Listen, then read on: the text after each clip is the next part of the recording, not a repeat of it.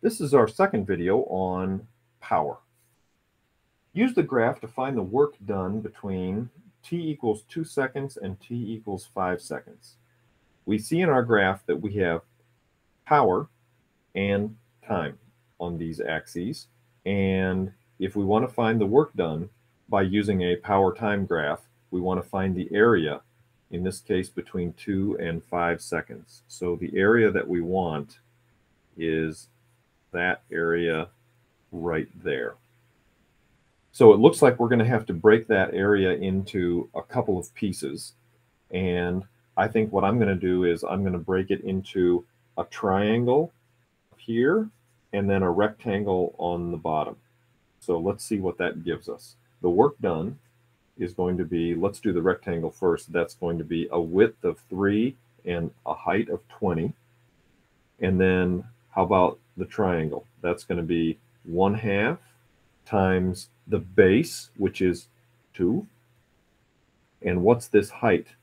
This height is going to be roughly 20, 20, we'll just approximate it, 27. It's not up to 50 yet, so that's going to be maybe 27. So what does this give us? 60 plus 27. And that's going to be about 87 joules. That's how we do that. Now, what about this one? Here we have a graph, and supposedly it conforms to this equation. That's fine. We're showing this graph just as an example. The equation that we want to focus on is going to look like that. And so what we want to do here is we want to find the area between 2 and 3 seconds. So the area that we would want to find, again, you can tell that this specific graph would not apply to this equation because this equation has an intercept of 5. And so the real graph, wouldn't it, might actually look something like that. You would have to have a y-intercept of 5. You can see that at the end of the equation. So that's okay. We can draw that in there. That's the area we need, something like that. Now, if we have a function and we want to find area, then we're going to integrate that function. So the work done is going to be the integral of the power with time. So we're going to go from a limit of t equals 2 seconds to t equals 3 seconds. We're going to take that function and we're going to go 6t squared minus 4t plus 5 close parentheses, dt. So let's see if we can do that. Whenever we integrate polynomials, we power up. So this is going to go to t to the third, and then we have to divide by 3, so won't that be a 2 out front?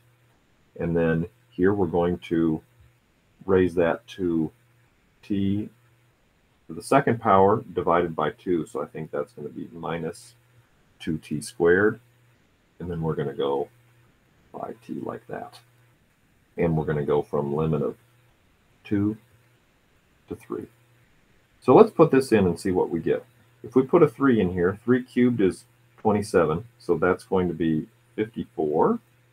I'll put a set of parentheses here. Minus 3 squared is 9, so that's going to be minus 18, plus 5 times 3 is 15. So that's at our upper limit. And then the lower limit if we put a 2 in here, 2 cubed is 8 times 2 is 16 minus 8 plus 10.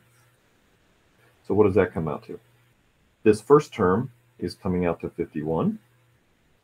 And the second term is going to come out to 16 minus 8 is 8 plus 10 is 18. 51 minus 18, about 33. 33 joules.